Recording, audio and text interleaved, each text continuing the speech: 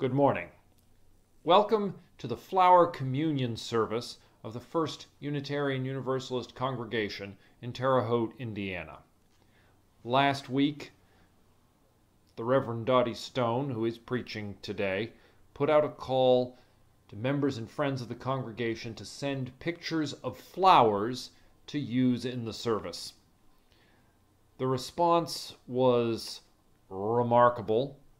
We have more than 50 pictures of flowers from well over a dozen members and friends of the congregation. And there are so many of them, in fact, that I have opted to make this week's service essentially a radio service with pictures of flowers. So, except for Dottie's sermon, which is a video of her speaking, everything else will be voice over flowers. Welcome to the service. As Unitarian Universalists, we believe that our congregations should welcome all people, regardless of anything that has been used to divide people. In these weeks after the murder of George Floyd, in which long standing uh, racial injustices in this country and other countries are being challenged by protesters in the streets around the world. In Pride Month 2020, and just in time. Uh, we want our congregation to feel welcoming, to be welcoming to all people. Our principles, our purposes, and our general inclinations are to try to be that community that celebrates diversity, that evaluates and understands each person on their own terms we do not always succeed in this congregation or in the Unitarian Universalist Association or in other congregations of the association. We know that. We don't think that we are some kind of inclusive utopia. But we believe that we should try to become one. And we hope that we move in the right direction in our own congregation and in our society at large. As it says, in the principles and purposes of the Unitarian Universalist Association, we covenant to inf- affirm and promote the inherent worth and dignity of every person. And every person will be welcome here when it is safe and easy for us to meet in person once again.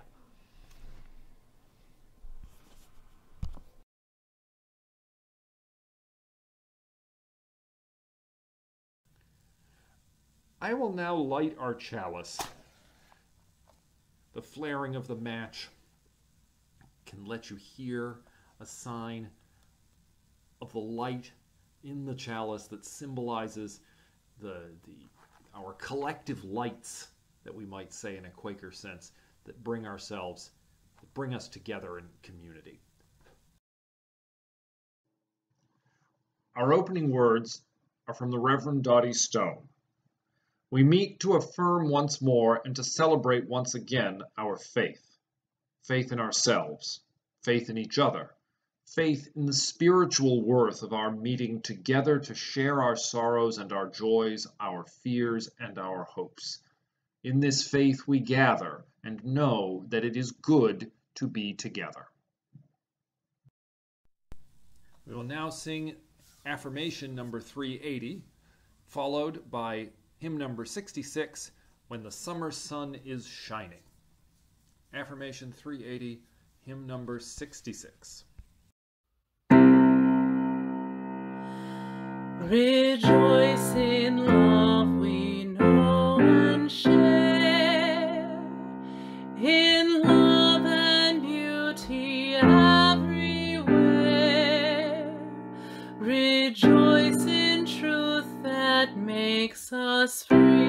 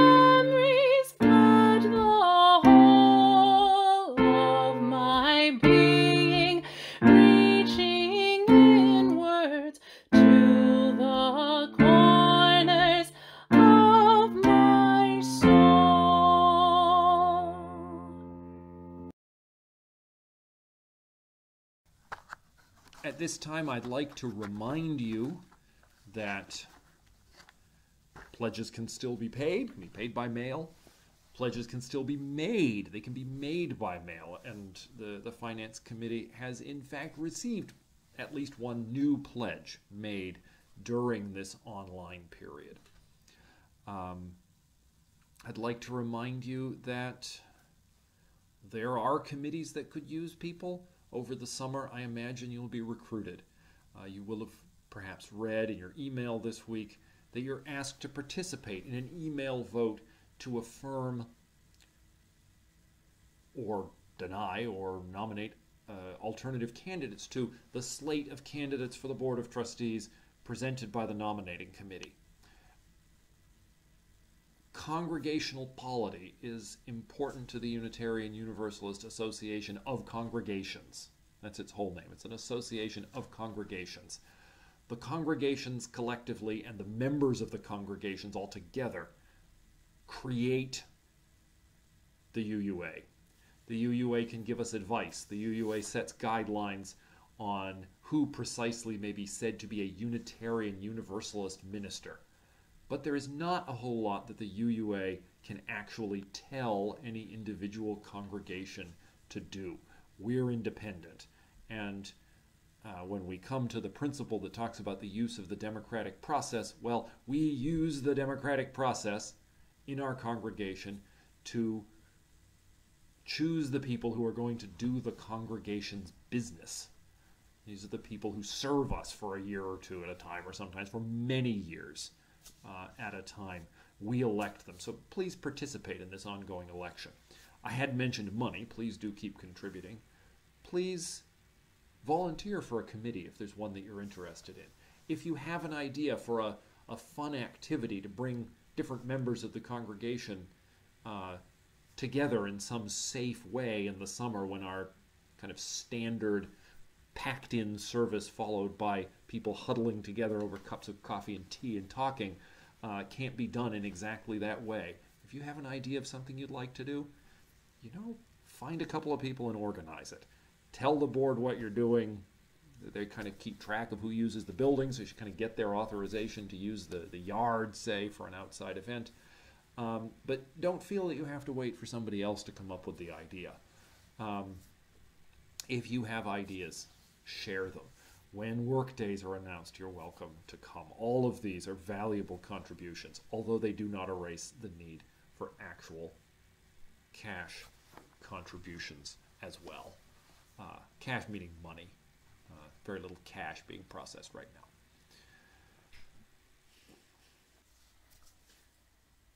This would be the time for the sharing of joys and concerns. I've already kind of shared my own at the beginning, um, and I invite you to think about your own. And that if something really concerns you or is really joyful and you don't know who to tell it to, call someone in the congregation who you know. Uh, I'm sure that Dottie or I would be happy to listen to you. Send an email uh, to someone. Be in touch. The congregation can listen. Now take a short silent pause and then follow that up with Spirit of Life.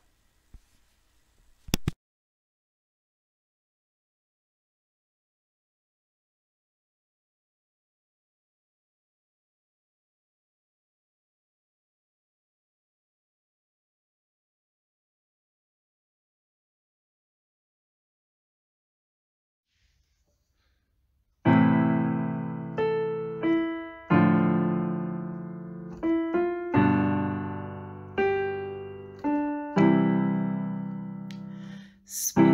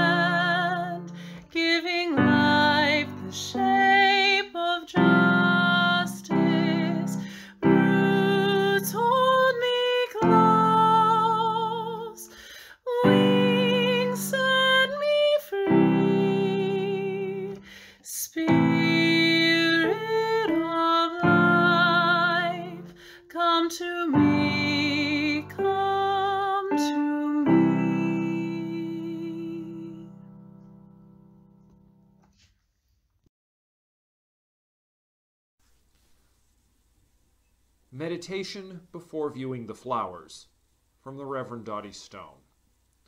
Let us take time to pause and reflect upon the flowers which we share this day.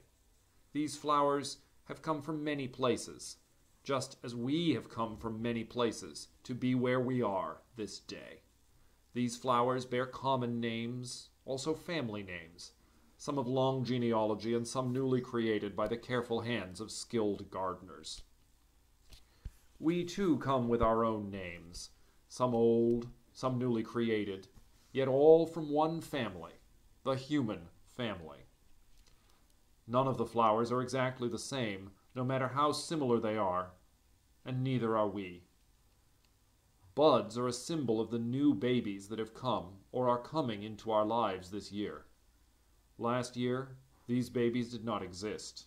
This year, they are among us what message do we receive from new life? What do we give to strengthen new lives and help them to grow?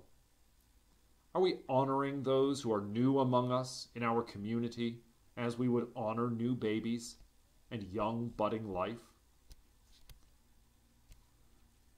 Some flowers represent people in bloom of life all around the world. Some of these people we will never meet face to face or clasp their hands in ours, but as we focus on the fullness of life, we can remember that their hopes are our hopes, their pain is our pain, their war is our war, and their peace is our peace. And what of the broken, faded flower? It too is part of our treasure. It honors what has been and will not come again except in our memories. The broken flower reminds us of our own mortality and that time will fade for each of us. Some plants would not be considered as flowers because they bloom from common weeds. Yet, each blossom is a reminder to us of the worth of every living being who has the capability of beauty when we are willing to see beyond common assumptions. Each of us comes with our lives as gifts to offer to one another. Let us watch in silent reflection as we witness symbolic creation of beauty and strength as shared by members of our community. The Norbert Čapek Code. We Unitarian Universalists take great pride in being different. We like to explain how our congregations vary in their styles of worship, and we recognize that it's clearly different strokes for different folks when it comes to choosing that place we call our church home. Some of us like ritual as part of our Sunday time together, and some of us want nothing, no part of anything that feels like other religious communities we might choose to leave behind. Yet, even as we proclaim our uniqueness and our individuality, we also seem to want something familiar in our Sunday morning community. So we find ourselves creating new ways of expressing that familiarity. Today, we are celebrating midsummer, a special time, no matter how wet or dry the season. So you have been asked to share flowers as part of UU tradition that has come to be known as the flower communion. Or for those of you who are still cringing every time I use that word communion, the flower festival or flower celebration. But let's just sidestep for a few minutes to look at communion, UU style. In general, we do not have a set form of communion as practiced in the traditional Protestant and Catholic churches. Our Unitarian and Universalist ancestors did have communion services with the understanding that it was a symbolic relationship, not a literal interpretation of the body and blood of Christ. And in the storeroom of our Terre Haute congregation, we even have a silver communion service that was used by the Hudsonville congregation and given to us when they discontinued meeting. UU Christians and some congregations in the eastern part of our country still participate in traditional communion services from time to time. In Transylvania, our present day Unitarian congregations also observe the bread and wine ritual four times a year, and they acknowledge most of the Christian church customs, including celebrating all the major holidays. But back to communion. Communion can be much more than traditional form. The word itself could be broken into a literal translation of common union or with union to mean relationship to one another. It's from the same base root as community, which many feel is the main reason for coming together on Sunday mornings. So let's put aside any emotional charge from vocabulary as we learn more about the origins of this particular service. We are following a tradition of our Unitarian ancestors today in participation of this service, a tradition that dates back to June 4th, 1923 in Prague.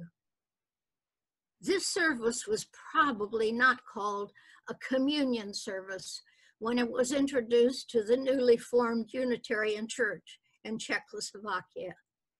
Norbert Čapek and his wife Maja were both ordained Unitarian ministers, and the Prague Church met in a rented hall, and the services were lectures. Neither minister wore a robe, and there were no stained glass windows or other elements of religious space. There was no ritual or music. No offering was taken, but people put money in a box when they entered the room. And there definitely was no coffee hour. The members were mostly rebels from the Catholic Church who wanted nothing to remind them of Mass, the form of worship from which they were fleeing.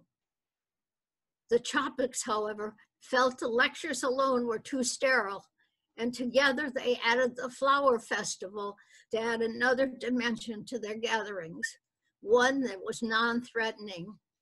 They decided the native beauty of their countryside could provide elements of meaning which would be genuine to everyone.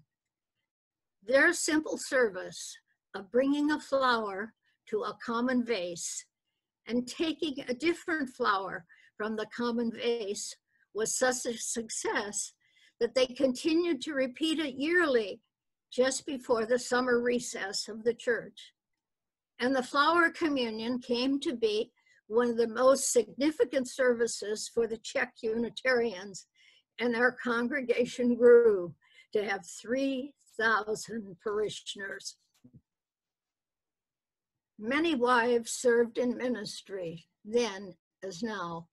Maja Kopchak was one such leader beside her husband. In 1939, she came to America to lecture, and she, she remained here due to the Nazi occupation of her homeland that same year. She served as acting minister of the New Bedford, Massachusetts church. And it was she who introduced the flower service to this country in the spring of 1940. She remained in the USA until 1944 when she was sent by the United, Re United Nations Relief and Rehabilitation Association to Egypt. Norbert Čapek remained in Europe as one of the leaders of the underground opposition to the Nazi occupation of Czechoslovakia. And in 1942, the Gestapo broke into his apartment in Prague, confiscated his books and sermons, and arrested him and his youngest daughter.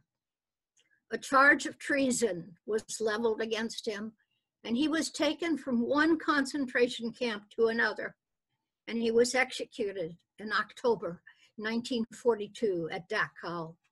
Maja did not learn what had happened to him until 1945. The significance of their contributions to our Unitarian Universalist tradition continues in the tradition that they began, along with 90 hymns written by Norbert.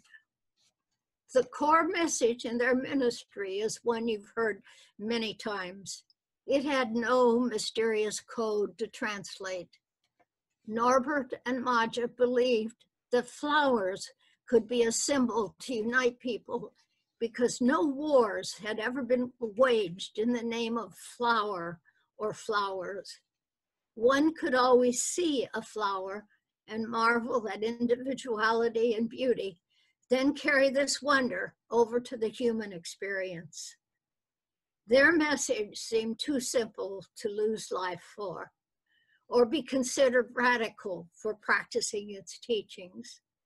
Yet, even today, our insistence of affirmation of each human being and the sacredness of human relationships beyond lines of gender, race, or economic status is radical and threatening to many people in our country. Just ask all those people who are afraid what it might mean when every person can move freely through the streets of their own community. We profess belief in the inherent worth and dignity of every person without regard to race, color, sex, disability, affectional or sexual orientation, age, or national origin. We support the rights of everyone to be able to support their families with adequate housing and a level of income that's self-sustaining. We believe that we're each responsible for our own choices, that the events in our lives are not at the whim or will of some source higher than ourselves. We believe that we can create a better world than the one we have inherited. These are all the radical beliefs that cost Norbert Čapek his life. Are we willing to live as dangerously as he did to uphold our beliefs? Are we willing to speak out against injustice in any form? Norbert Čapek believed that the vessel that held the flowers was important as an expression of community. And when we place our flowers in a common vase, we're saying with, that we join with one another by our own free will. This service today is a statement of community, our community. Our congregation are alike, just as no two flowers are alike. Yet together we make a beautiful bouquet of life here at First Unitarian Universalist. And our community bouquet would not be the same without each and every one of us. Usually, we select a new flower to take home, a flower that was brought here by someone else. By exchanging flowers, we show our willingness to walk with one another in our search for truth, disregarding all that might divide us. We share in the celebration of community by giving and receiving, by partaking of communion, a communion that is essential to a free people of a free religion. Today, we take flowers with us in our memory from the many bouquets shared today by caring friends. And as we feast again visually on these flowers, I close my thoughts today with the words of an unknown poet. May the blessings of flowers be upon you. May their beauty beckon to you each morning and their loveliness lure you each day. And their tenderness caress you each night. May their delicate petals make you gentle and their eyes make you aware. May their stems make you sturdy and their reaching make you care.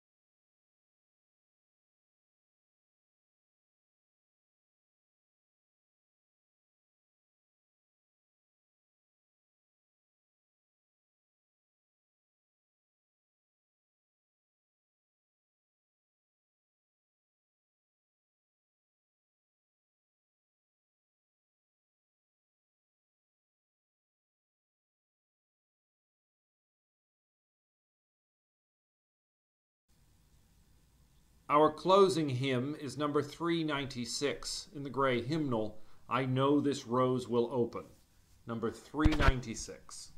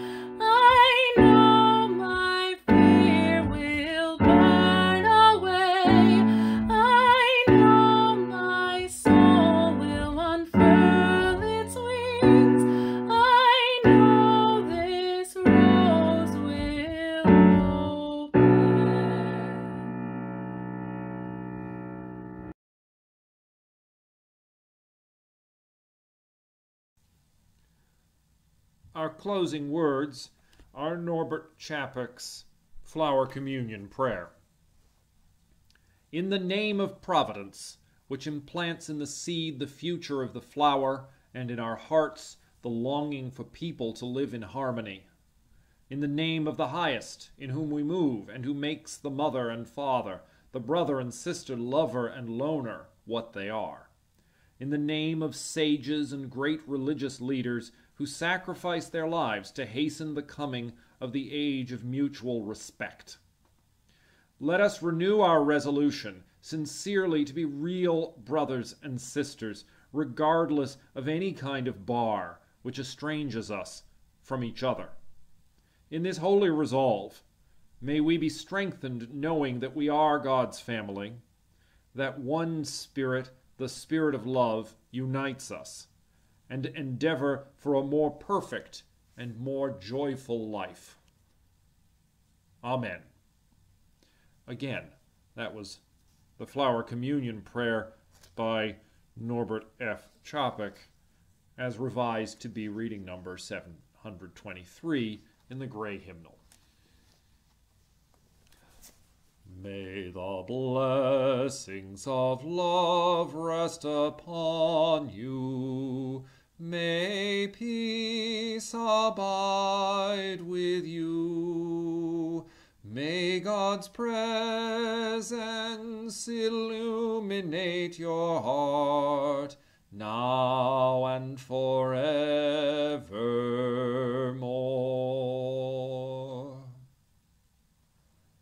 Go in peace and know that you are loved, and that your life is sacred, and that you are not alone.